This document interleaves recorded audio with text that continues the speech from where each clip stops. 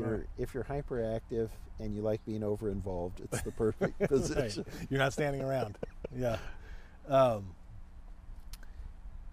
gosh, there's so much about on the leadership side, but we don't. We have limited time. Um, let's talk about the world today, because I obviously it's been a t- really tough year, and it's Yeah. not getting any better probably for, for the foreseeable future. Right. Um, you wrote in here, every downturn eventually has an upturn if we persevere with hope. yeah.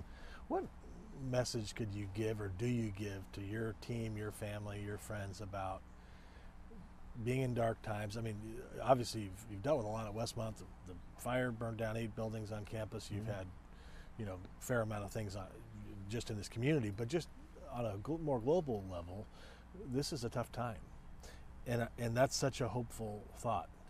Uh, talk about that. Well, I, I totally believe, uh, you know, my faith in Christ is the most important thing to me. I think when you have a shaping value like that, that it, it just is what sustains you. And I'd like to go back to my father's death because it's preceded seven years earlier by the death of one of my favorite mentors who, who was killed quite tragically in an accident on Mount Hood.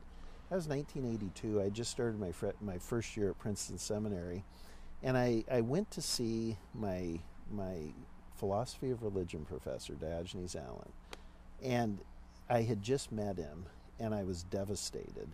And he had just written a book called Traces of God in a Frequently Hostile World, and it's about the problem of evil and suffering.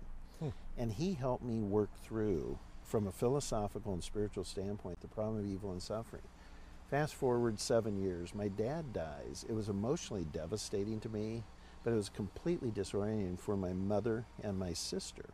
But I had worked through the problem of evil and suffering seven years earlier, and I was then able to be emotionally present to my mother and sister in ways that really mattered to them. Hmm. And then you keep going through in life, and I think each challenge, each crucible experience, if you will do the work to understand what spiritual lesson you need to learn from it, it prepares you for things coming that you don't even know.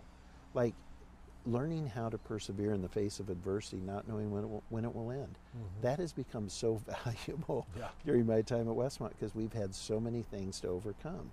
And you, you come to our current moment, you've got to be adaptable. You have got to take the input that's saying things have got to change. What are the things that are moving in society? What are the ways in which they fit within the framework of Westmont? And then how do we create the groundswell that will permit that to happen? Part of what we're doing right now, I mean, we have both the COVID 19 response and the racial conversation response. And so we're working from the board at every level of the college, uh, doing readings, bringing in special speakers, doing special focus.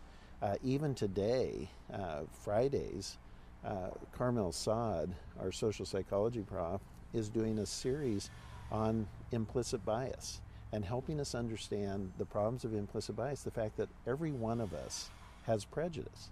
And if you actually deal with the issue of implicit bias, it's the lowest threshold way to get at the fact that we all have prejudice. Hmm. Well, once you start there, you can begin working on it.